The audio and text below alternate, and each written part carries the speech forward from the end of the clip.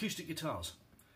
When you string them up, you shouldn't be pushing the string down with the pin. You should just be pushing the ball end so that it flicks forward in the guitar and stays in the right place. But nine times out of ten, your pin will look like this, where the end is just a stubby mess. Take a file and with the slot facing upwards, simply put a 45 degree bevel into the end of your pin.